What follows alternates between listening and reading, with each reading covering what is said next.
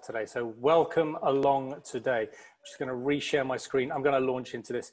So look, once again, as I said earlier, when we do these sessions, what we like to do is do make them as interactive as possible. So what I'm going to ask you to do is I'm going to ask you to engage in our first poll today. Now today is about leadership and specifically about leading in challenging or difficult times. And the reason that's so relevant is because of what's happening at the moment with the advent of COVID 19. It has absolutely decimated the way people are used to working and it's put a lot of pressure on everybody. Now, whether you are a leader by a hierarchical position or you're just the leader because of the mindset you have towards other people, it's kind of irrelevant. What we're going to do today is give you a framework that's going to help you, particularly if you're a leader of teams uh, a leader of a business or leader of multiple teams to help create, bring a balance to your focus, okay? Now, what I'd like to do is I'd like to start off by kind of getting a little bit of an understanding of what you think good looks like, irrelevant of tough times or not. So the first question I'm gonna ask you to kick into is this one here, which is what do the best leaders look like? So specifically, if you think about um, the leader that you know or the, the best leader that it's okay, Russell. I've got that. You've done it. All right, thank you. So think about the leader that you've ever had, best manager or leader you've ever had. The question I'm really kind of posing to you through that poll is what did they do that made them the best? So think about characteristics, think about behaviors. I'm, I'm really not talking, I'm not interested in the nice possible way about their names or their companies or anything like that. Um, I, I'm, I'm really trying to work out what is it that you found about them that made them the best leader? That's awesome. So already we can see some people responding to that already. So we've got listened and empowered the team. Okay, fantastic. Uh, a people person, open and honest, employee centered, motivate others, listening, lead by example, transparency, good. Uh, carrying, uh, being yellow, okay. Um, a reference for those of you who've been through our, our jigsaw uh, program, I'm assuming. So I'm assuming that's that's some energy and inspiration we'll take from there. Staying calm, empathy. It's another great word that we've talked about a lot over the last few weeks as well. Is is, is considering how other people are feeling. Charismatic, one who lead, not just manage. That's a really good concept because one of the first things we're going to do, just so we have a shared understanding this morning, is distinguish between leadership and management because um, they both play a role, but they are different and they require different different behaviors. Uh, what else we got? Encouraging, godly. Okay, that's that's one that would with a capital G. That's one that we'd uh, be interested to explore as well. Um, I think defining what we mean by godly in the first place would, would be a good place to start with that. Okay. Um, transparency, motivate others, staying calm, managing failure. Okay, so look, uh, there's nothing in there that, that kind of surprises me. And when I think about the best leaders that I have, particularly the best manager that I ever had uh, in my career, um, was a lady called Caroline Taylor when I worked for AXA uh, Insurance back in the UK. And I think she, she was my manager's manager, right? And, and even though I had a good manager, she was unbelievable in terms of making me, and I, you know, there was a team of 22 of us plus two managers, but it wasn't just me everyone just feel a lot of these things on there, like listened, empowered. You know, we were given enough rope to hang ourselves is a very English expression to use. But, you know, if, if you wanted to do something and you had a case, she just let you go and do it with some direction, with some support, absolutely. But she actually, you know, it allowed you to create your own, um, for want of a better word, your own workflow as long as it delivered on the team's goals. So a, a lot of these things I would attribute to her and, and, the way I always aspire to be as, as a leader of people as well is exactly like she was as well. So um, that, that's, that's one thing I always look to. Willing to mentor as well, that's really important. It's not just about telling, it is about showing the way and helping and guiding. Because if you just give people the answers all the time, they're never going to learn for themselves. So look, that's great. And guess what we're going to do now? I'm going to take this and I'm going to flick my question. So it's exactly the same uh, opening, ever so slight tweak on it, which is instead of thinking about the best leader, I'd like you to think about the worst leader or manager you've ever had. What did they do that made them the worst? Now, just so we know, we're talking about worst, not worse. Worse is a comparison to something else. This is the absolute pinnacle. So once again, if you can have a look at your poll, whether you've got that on your phone or in a different browser window, what was it that they did that made them what you consider to be the worst manager. Perfect. So the first one that pops up really big is micromanager. setting unrealistic goals, selfish, self-centered. Look at that. That came in like really powerfully, three in a row. Impulsive, favoritism, indecisive, nothing. What they literally they did nothing. Either you know, one who micromanaged. Are you still holding some issues around that? I think I think for every exclamation mark there, there's a month of therapy required. Maybe. Okay, being bossy.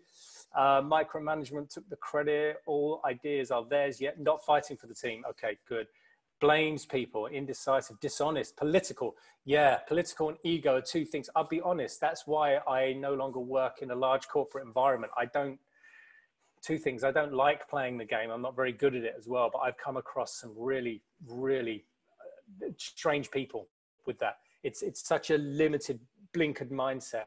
Took team wins as their own. Yeah, that's no good. A power tripper, being bossy, self centered, selfish. Look, all of these things that are coming in here throws you under the bus. Yeah. Poor vision.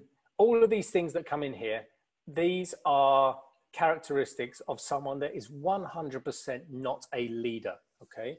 Now, I'll just start to clarify what I mean by that. They might be a manager, and I don't mean a manager in the right sense of the word. I mean on the fact that they have a position on an organizational chart.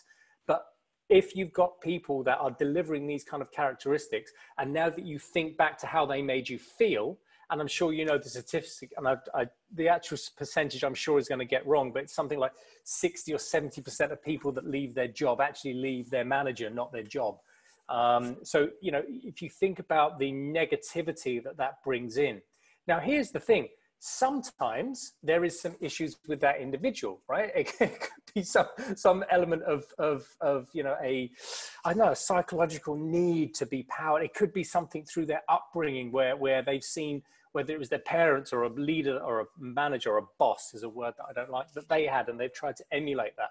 But it, just doesn't work. It doesn't help move things forward. Afraid to delegate, I've just come in there. That is one of my pet peeves. And if I could have one mission in life, it would be just getting people comfortable with handing work over, right? So look, as a lot of times, managers, however, often get promoted into a role and they're not prepared for that role. Okay, that's exactly one of the reasons that companies like Ignite exist because we're actually able to help organizations and individuals prepare for those uplifts um, in, in a, in, a, slightly more structured way. When we run these kind of programs live, and I have the ability to have a bit of feedback from the audience, a question I always ask to people, particularly from their frontline roles, but it works at any level, is, is why were you promoted? And essentially, the answer most of the time, if I just distill down what I get back from people, is well, I got promoted because I was good at what I was doing. That was fantastic. So, you know, we've got someone from insurance company uh, who spoke to us earlier. So if let's say, for example, you are on the front line and you're processing claims and you're then, a, you know, judged against your turnaround times and service level agreements and your quality, you might be excellent at delivering all of those things. So what happens, you get identified as a real strong performer and they promote you to a team lead.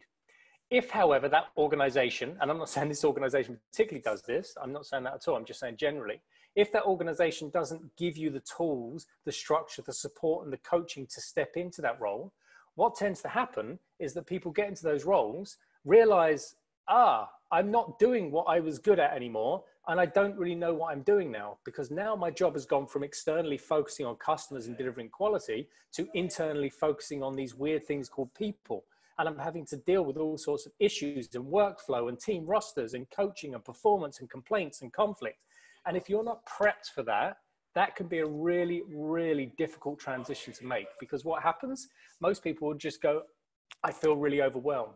And particularly the culture that we experience here and some of the mixes of cultures we experience here is then seen as a weakness to put your hand up and say, help, I don't know what I'm doing. Because we then have this impression of, well, I'm a manager, I can't show weakness. Rubbish one of the best things you can do to create trust amongst your peers, your, your, your managers, and with your team is to be vulnerable. And if you turn around to someone and say, Look, I'm learning this, I don't know what I'm doing, I need some support, you, you will actually find it takes a huge amount of pressure off you. So, it's a lot of these negative uh, characteristics that are coming off, they could well be down to the individual, 100%. But also, what I would urge you to do if you have any kind of input into organizational development, people development, if you're in HR, if you're in learning development, if you are a manager of manager, when people are promoted, please make sure that their journeys are supported in a way that these don't come out. And if they do come out, what you need to do is actually remove them from that position very, very quickly. Because what you're going to do is you're going to uplift one person and potentially take out 10 uh, people in their team who just have no interest in working with them. So I hope, I hope that kind of starts to set the scene because when we talk about challenging times, and that's the, the title for this session today, what we're really talking about is what we see on this screen now. This massive shift in terms of the way we're working now. We're no longer collated. I know uh, co-located. I know some of us are back in the offices and it's starting to seem normal again, but I promise you it's not. So, so, so please don't be fooled just because the government in the UAE, for example, have started to uh, open a few things up to allow you or allow the economy to start moving again. Please don't think this, this disease, this virus has gone away. There's no drop, drop in, in, in new cases every day that's coming out. But yet, what, you know, it, it blew my mind. I'm seeing Friday and Saturday, particularly Friday, as soon as the ban's lifted, there's people going out to pubs and clubs and bars and malls. It's like, okay, you've got some freedom. I understand how being locked up can be an issue, but please, please don't think this is going away. The fact that we can now get 30% of our staff back into offices, that's a great thing. It's going to start moving business forward. But, but please, please, please, let's, let's move forward, you know, with a little bit of caution. Now, whether you are back in the office or you're still operating like this, what I'm going to cover you with you today will be 100% relevant, okay? But um, it's important, first of all, we just initially distinguish between these two terms leader and a manager. Now, these two terms are often used interchangeably, okay? And they're not. And one thing I really want to make sure that we leave here today, if nothing else, is that we have a distinguished uh, idea between a leader and a manager. In its simplest form, leadership is about people, manager is about task. Now, that is a really basic way of describing it. But as a leader, your role is to essentially inspire the people around you. And that is either setting a vision or taking the vision of the organization or your leadership and translating that for other people into something that's engaging and inspiring. You need to build commitment with individuals and teams, and you need to create that visionary approach. And once again, if you think, well, I'm only a team leader of, of a call center, doesn't matter. If you have a vision of how that team should operate and how you want to be, then that exactly is what's going to drive your, your behavior and your leadership philosophy. Now, as opposed to this, managers, on the other hand, are great administrators. They manage process, they keep things on track, they manage their resources effectively, and they maintain order within organizations. So here's the thing not one of these is better than the other. You might have a slightly unconsciously biased opinion towards one of them or the other, but they, they both have their value. They both have their value. And here's the thing in a lot of roles in organizations, we do need to be both. Okay. Now, what most people will find is that they will naturally have more of a leadership behavior that come out or natural to have more of a management behavior that comes out. Your responsibility if you are a leader is to make sure that you can create some form of balance to this without effectively going away from yourself and losing your own uh, how can i put it? Your own way of working your own style your own personality and your own uh, philosophy of leadership. So look, this might be something you're familiar with, and this is um, a model that we, we cover off every so often uh, when, I, when I talk to people about this kind of thing. But what I'd like to talk to you today about, particularly about how you can apply this framework today, is um, a model called Action-Centered Leadership, which was developed by a guy called John Adair. So in the 60s and 70s, John Adair was, was a lecturer on leadership at Sandhurst Military College, which is essentially a British, uh, British Army officer training school. And he developed this theory and he published it in 1973. Okay. So what are we talking now? We're talking 47 years, nearly 50 years ago. And a lot of the stuff that, that came out in the 60s and 70s in terms of, of theories that we use and, and frameworks we use in businesses now are very powerful. They've stood the test of time. So action-centered leadership, uh, Herzberg's theory of motivation, Maslow's hierarchy of needs, situational leadership, all of this came out of almost like a golden period of research into organization development and leadership. I really like John Adair's um, model when it become when it comes to thinking about how you're going to lead. Particularly, I find it useful to get conscious of this in difficult times. Now, whether this is because of coronavirus or because you've got a budget um, constraint or you've got, you know, your, your sales have dropped off, it could be anything that creates a challenging time. Now, in his model, if you haven't seen this before, John Adair elicited three areas of focus that a manager needs to have. And the first one of those is basically achievement of task. So, what or how do you as a manager make sure that you get your deliverables delivered? The next one is about focus on individual development. So if I'm a team leader, I, am a leader of a business, I might have 100 people in there. And as I go down my organizational chart, there might be five or six people that report directly to me. My focus needs to be on the individual development. And then the third thing I need to think about is the team. So this is about creating a cohesive, engaged team, which consists of trusting individuals, people that aren't afraid to lean into conflict. And I mean healthy conflict, where we can discuss disagreements, where I can hold each other accountable for tasks, where we have set understanding and agreed understanding of performance standards and how we're going to interact. So what we're going to do is that very briefly today, I'm going to touch on each of these tasks and I'm going to, you know, kind of offer you a little bit of a challenge for those of you that have leadership positions. And I do use the word leadership. You might be thinking to yourself, my job's kind of more management based on what we've just defined. But I'd like you to start shifting your mindset towards that leadership uh, element. Now, if you want to know more about this, this is 100% something that I'd, I'd, ask you to go away and Google and have a look at John Adair's website or Adair International um, is something that you can look at. I'm actually going to refer you to their site a little bit later um, because there's one step in this process if you'd like to do it that you can do yourself. So let's have a quick look at these, these couple of areas here. Um, one of the first things that we're going to, uh, the first thing we're going to look at is achievement of task. Now, what are some of the things that you need to focus on as a manager? So, as a manager, when you're talking about achievement of task, really what we want you to be doing and what you need to be thinking about is have I set clear objectives for everybody? Is everybody clear on their role when it comes to delivering the work that we need to deliver? So, setting objectives, ideally, that are linked to your, your department's objectives and which are linked to your organizational objectives. Actually, remove the word ideally. They have to be, otherwise, there's no point. If you have an organizational plan and you as an individual are working on a task that is not in line and dovetailing to that, then you shouldn't be doing it. Okay, which brings us back into smart goal setting and the R being relevant. Is it relevant to what I'm doing? Perfect. The next thing is about planning tasks. So this is actually, you know, the more kind of management piece of understanding who's got the right skill sets, who's got the right capacity, how do I set and uh, manage workflow of my people here. Then it's allocating responsibilities. Now, if you're familiar with something called a RACI matrix, um, and if you've never done anything like this before, getting hold of a, or running a RACI matrix for your team is very useful. Um, RACI is, once again, you can Google this, R-A-C-I. It is an acronym and it stands for responsible, accountable, consulted and informed. Sometimes you'll see an S in there as well, which stands for support. And what you do is you literally list all of your tasks down one side of a, of a grid. You can do this on a flip chart on Excel. And across the top, then you have RACI. And every task you go through and you say, okay, you know, and the example I always use when I, when I train this is you're planning a dinner party, right? So you list all the tasks, invite guests, prepare a menu, buy the food, all the way through to washing up and putting away, okay? And then what you do is, okay, well, if there's mum, dad, son, and daughter, who is responsible, accountable uh, for each of those? Who needs to be consulted? Who needs to be informed? So, for example, invites, right? Okay, so we're going to put um, the mum and dad are responsible and accountable for that. Okay, so that means they're going to do the work, and also if the work is done or the quality of it is is down to them as well. So that's what we mean by responsible or accountable.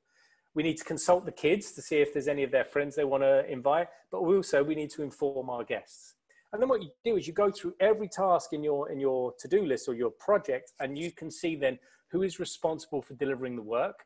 If that work is delivered or not delivered, whose head would roll or who gets the pat on the back. That's the accountable piece. Who do we need to be consulting with? Whether that's an external provider, whether it's a manager, someone else in the business, a key stakeholder, and who do we need to inform about that piece of work? Okay. Now, sometimes not every task needs to have something in every box. But every task does need to be someone responsible for doing and someone accountable for doing. But you might not need to consult or inform. Okay. So allocating responsibilities is a critical part to this as well. And then setting performance standards. So this is really where the question comes in of what does good look like? How do you set those standards? Now, something you know that, that we do as a business, not necessarily individual level, but we'll set um, targets and goals for ourselves using a medal table. So we'll always have a must number, for example, for our revenue, that if we don't hit this, we're in trouble. And then we'll have a bronze, silver, gold. Um, and it's about how do we strive for that, for that, for that next level up from where we're constantly working from. But the performance standards really are about what are we going to see as success? What are the behaviors? What are the values that we want to see delivered within our business? And it's my job as the leader to make sure those are clearly defined and that people are actually following them as well. Okay. So that, that's just a couple of things in terms of tasks. And there's a whole other list of things that we can go into. But like I said, I'm going to keep this relatively brief and succinct. So when we talk about team, now look, those of you that are still working co-located or mainly co-located, as I've been saying all along when we've been doing these kind of sessions, anytime we've touched on team spirit or leadership, 100% the rule of thumb here is over communicate. If you only held a team meeting once a week when you all shared the same office, then you should be doing a weekly meeting and a daily check in at the very minimum. Okay. Over communicate, get in touch with people as much as possible, get them into group sessions as much as possible, create a feeling of togetherness. What you want is everyone to feel that they're in this together. They don't have to agree on everything that each other says. That, that's actually part of a good team is that they don't agree. But what you want is you want that connection. So building in a working rhythm where that's happening regularly is really important.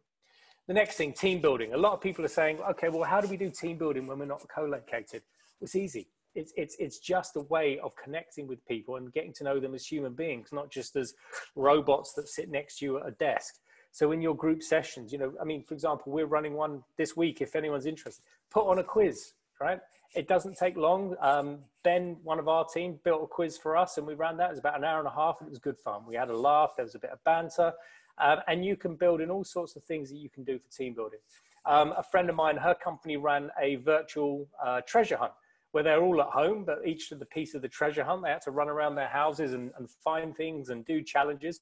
So there's absolutely ways that you can create a common goal. And that's what really team building is about, is giving people a common goal and then encouraging positive behaviors and interaction to deliver that goal. Face to face, absolutely. And it's something that you can do in an office. You can take people out for a day. You can hire us to come and do it, whatever it might be.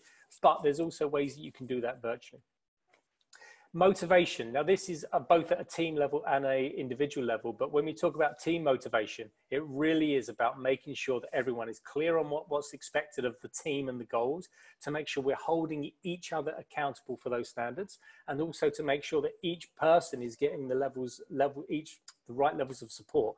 And here's the thing not just from you as the manager because that puts a huge amount of pressure on you but it's about a huge uh, the right levels of support from each other as well okay you're not always, as the leader, the right person to turn to. You know, if someone in a team has got a relationship with someone and they just need to talk about um, getting a bit wound up, stuck in the house with the kids all day, 100% that's something that, that someone else can take on. Doesn't mean you can't, and it doesn't mean you should push them away if they come to you, but that whole piece of engagement and motivation does sit within the team. But it's your job as a leader to drive that and role model the behavior. And then the other thing as well is discipline. And we've talked about this before. When we talk about discipline in this sense, what we're talking about is making sure that the same standards are applied across the board. One of the, the, the characteristics that came out in worst leader that we just talked about was favoritism. And here's the thing those leaders and managers that are guilty of doing that probably don't realize they're doing it. And I should imagine it's not something they're doing on purpose. Okay.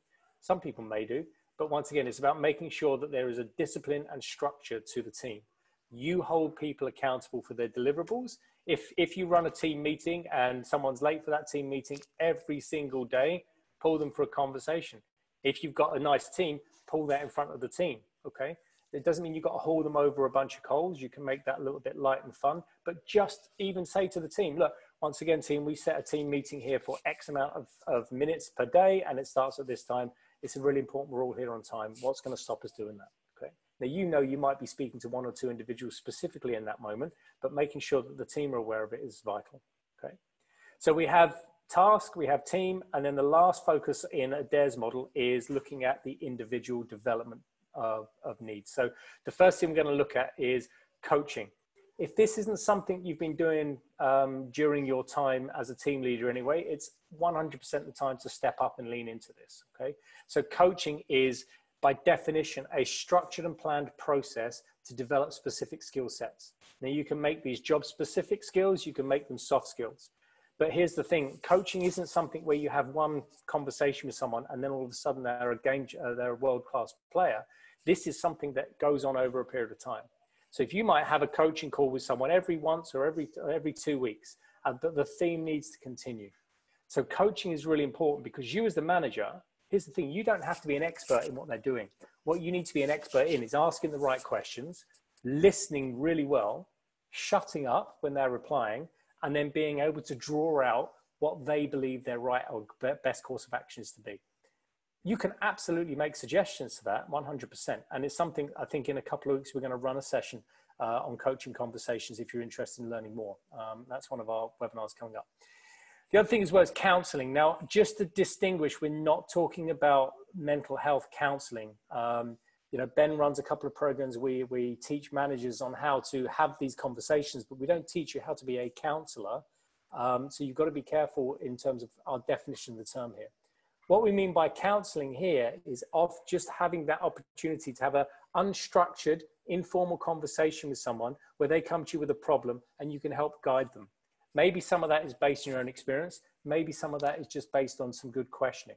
So there's elements of coaching that comes into that conversation, but it's not necessarily something that is recorded and something that is followed up on a, on a weekly or fortnightly basis. Okay, development. Now here's something I've, I've always had a little bit of a pet peeve about. Um, I've been involved in learning development for, for 20 odd years. And whenever I, not whenever, that's, that's a, an extreme example, but a lot of the time I'll speak to, to, to managers and I'll talk to them about their team. And essentially what they tell me is, well, I don't get the support from learning and development or the HR department. And here's the big thing, the, the big reveal is if you're a manager of people, learning and development and HR is, is there to support you. They're not there to deliver training for your people.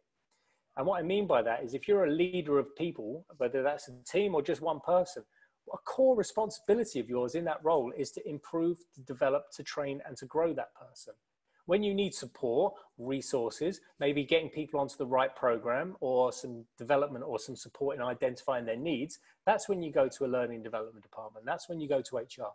But don't just think, oh, okay, well, Ahmed in my teams need development. I'll just send an email to learning and development or HR. The first thing I always ask managers is, okay, great. So you've referred them for HR for training. What have you done? What have you done in terms of counseling or coaching or providing them resources or directing them to a book, a webinar, a podcast, anything? And more importantly, what have they done for themselves? But those conversations need to come from the leader. And then once again, we're talking here motivating on an individual basis. Each person will have their own drivers for coming to work. But if you've ever seen Herzberg's theory of motivation, what he basically elicits is there's three groupings of factors that uh, motivate people. And he re- uh, referred them to them as motivating factors, demotivating factors, and then the one in the middle essentially is hygiene factors. So hygiene factors are basically elements in your um, uh, setup that don't necessarily motivate people if they're there, but they can demotivate people if they're not there. Now that might seem a bit strange. So let me give you an example. And one I love saying out when I've got a group of people because people go, no, boo, and they always disagree. Money, your salary. Just think for a moment. Is, is, is money, is that a motivator? Now, some of you might nod, some of you might shake your head. From a psychological point of view, I'll tell you now, money is not a motivating factor. And I'll just let that one sit there for a moment because I like getting into interesting little arguments when we run this as a group.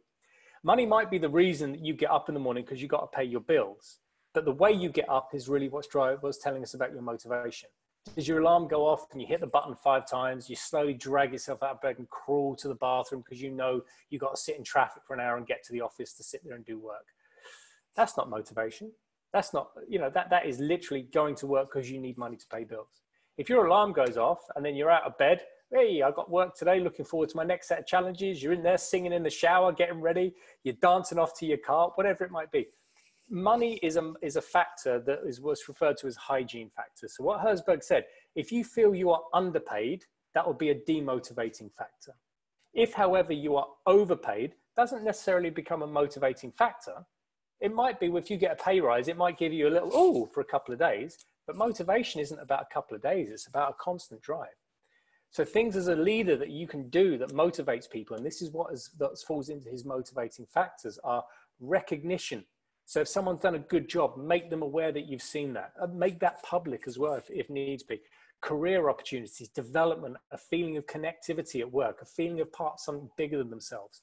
Now, even if you are the team leader of six people in a 5,000 people organization, there's six people that you can help with that. There's six people that through your behavior and the way you role model your day to day interactions can 100% change the way that they come to work, feeling about themselves, feeling about their job, and more importantly, feeling about their customers and how they're going to be delivering value. So motivation is, is a critical key, and it's not just about fighting for a pay rise for people. On a day-to-day basis, if you can give people a little uplift, discipline them when necessary, um, and give them the opportunity to grow, you'll see motivation 100% rise. Okay, so there's some of the behaviors we want to be looking at at an individual level. So what I'm going to do, I'm going to um, just come out of this one set. Oops, stop that. Okay, I'm going to come out of this for one second and I'm going to see if I can do something to, to make this a little bit more engaging. What I'm going to do is, I've just got to test. I'm going to just break us out um, into maybe 10 different rooms. So we're going to have, uh, let's do a little bit more. We're going to have five or six people in each room. Okay. Now, in that, I'm going to ask you to, oh, just realize I must share my screen again. Uh, I'm going to ask you, please, to do one thing. I'm going to ask you to consider the outcome or the consequence. I'll do that in a second.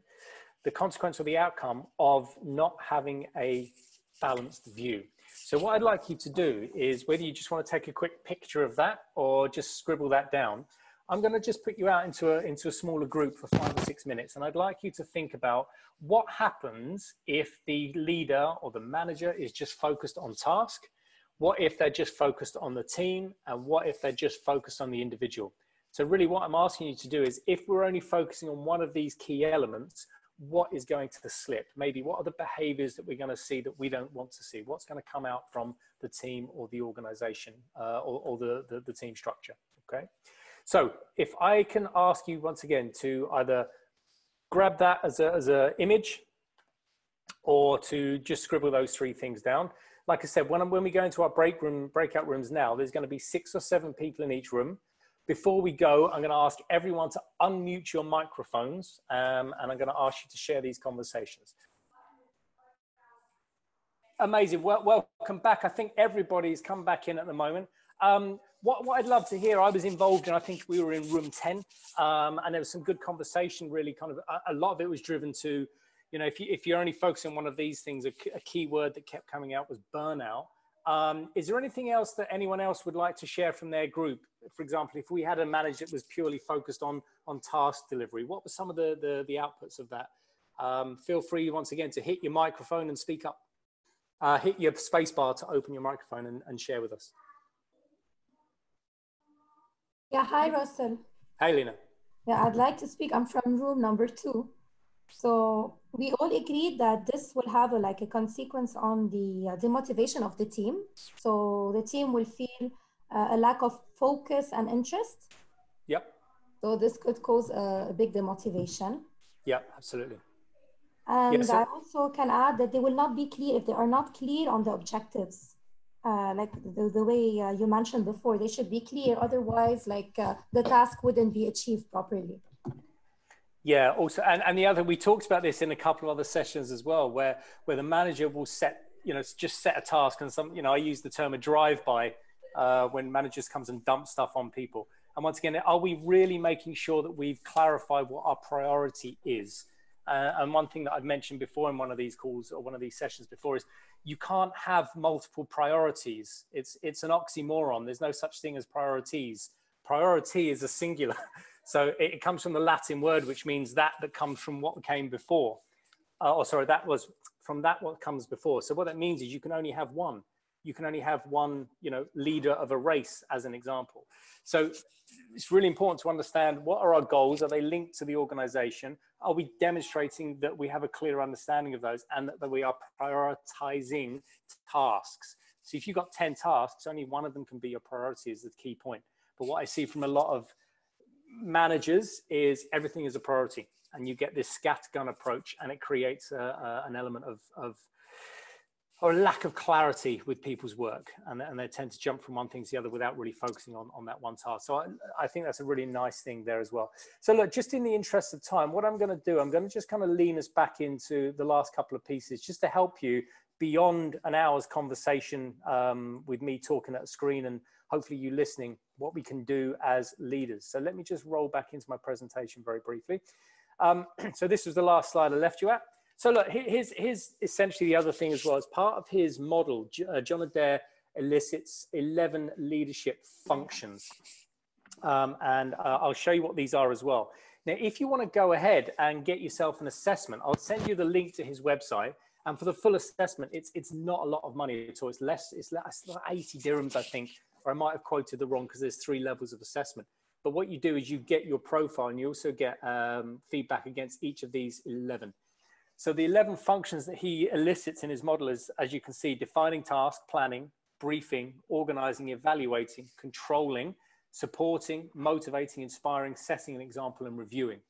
And so when you go through your um, action-centered leaders assessment, you actually, for want of a better word, get a score against each of those. So you can see where your natural strengths are and where your areas are that you know potentially need need a little bit of work. So for me, when I've done mine in the past, defining task is something that is an area for development for me. Planning is an area for development for me. And evaluating 100% is an area of development for me. Where, where I'm strong is supporting, motivating, inspiring, and setting an example. Now, whether that comes across in my day to day actions and behaviors to my team, I'd like to think so. But the way I see myself, and when I got my report back from that, it seemed pretty straightforward to me and it gave me a plan to, to kind of clearly move forward into. So look, what, what can you do as if you are a leader or you have people in leadership positions that you can support? The first step, 100% is to assess yourself. Um, once again, if you go to John Adair or Adair International, you will find those assessments on there. You can do them individually. You can get them for your team as well. The next thing is then I always recommend people to keep an activity log. So you could do this now. If you even sit back at the end of this call and list everything you've done with your team for the last two weeks, and then go through and label each of them, whether you think it was focused on team, task, or individual. And what you'll be able to see is the way I've been kind of naturally behaving or responding to this current situation, where has my focus gone? Now, you could argue if there's a lot of task on there, well, that's because of the situation. We're having to work differently. Sure, okay, there's always a reason for everything. But what I'm going to ask you to do is think about okay, in the next two to four weeks, if I'm going to list everything I want to do, or the way to do it is write three columns, team, task, and individual, and then write tasks that you can deliver um, over the next couple of weeks.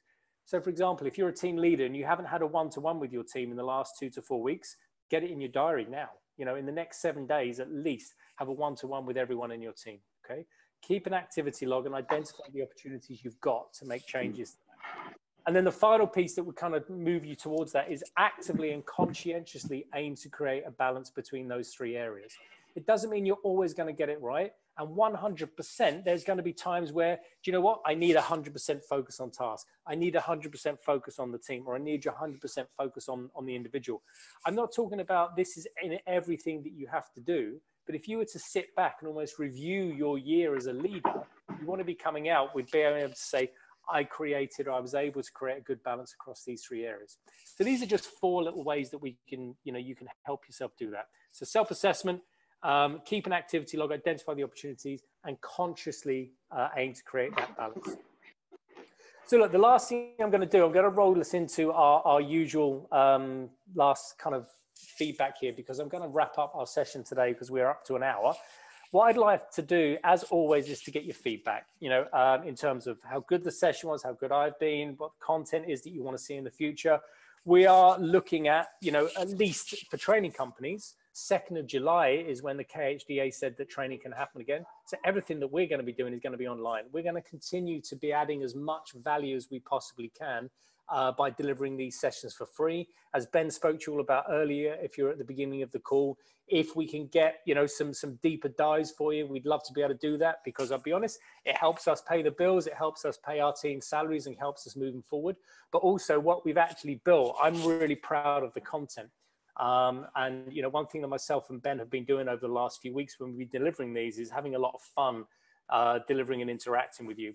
We do generally get pretty good feedback from you all as well. So even if you don't fill in the survey, please feel free to drop us a note, drop us a line, um, mention us on LinkedIn, anything that you could do. If you've got any value out of any of the sessions we've got or, or been doing, I'd really appreciate that because it helps us just get the word out there. So look, what we've got coming up in the next few weeks is we've got our on Wednesday our expert guest panel. Um, so it's well-being in action, and Ben talked about the speakers earlier. Now on Thursday we've got what we're calling an isolation quiz. It is open to anybody. If you've got a team at work and you want to get four or five people together, fantastic. Then please do that. If not, then we'll just get people into small teams anyway, um, and that's going to be a little bit of I think it's going to be quite fun the way we've designed to do that as well. And it also kind of just ease you into the weekend a little bit as well. Then next week, we've got two sessions that I'm running one on coaching conversations. So we'll have a deeper dive into the structure of how you can run some sessions. I'm going to talk to you about some tactical selling, um, particularly when you are in this market where people aren't necessarily actively buying. I'm going to help you be a bit more proactive um, in, in the way you think about that. And then the week after that, Ben's going to be running problem solving and decision making over two parts as well. So if there's any interest, any of those to do, you can follow the link. Um, the guys might put it into the chat if if I'm not calling them out on anything too too uh, that they're unprepared for. But once again, email us, reach out. Even if you want to put a note in the chat saying please send me the link, we'll get it to you directly. Um, and we look forward to seeing you on some of those. Now, the last thing before you do go, I will just also put into the chat a link to the John Adair website. Um, and if you have any interest in having a little bit of a deep dive around your own skill sets, I highly recommend you jump into those. So let me just jump back into this, my share and jump into the chat. Thank you very much. Right, I see quite a few comments on the chat. There is the link to John Adair. So before I wrap up, because it's 11 o'clock, did anyone else have something to say? So look, it's, it's 11 o'clock. I think this is the first time we, we've kind of got to our wrap up um, almost perfectly on time. Before I finish, was there, was there any questions that came up in the panel, Ben?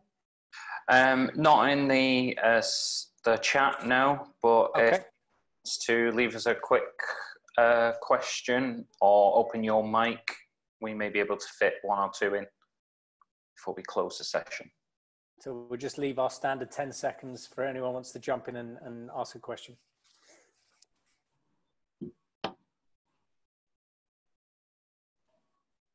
And there's the uncomfortable silence over. Amazing. Okay, that's it. Thank you very much, Ben. If you could um, take your screen off, that would be fantastic. Look, thank you very much for joining us, everybody. Uh, like I said, we've got our next one, as you just saw on Wednesday, which is going to be a really cool discussion um, hosted by Ben. We've got some really good uh, panelists in there, and also good to see an all-female lineup as well. So please jump in, support that, um, see what those guys are doing, see what they can learn, uh, or, or, you can learn from them, and see what they can learn from you. And we look forward to speaking you all again in the future. Thanks for those of you that have joined for the first time today, and we'll see you in the future. All the best. Thank you.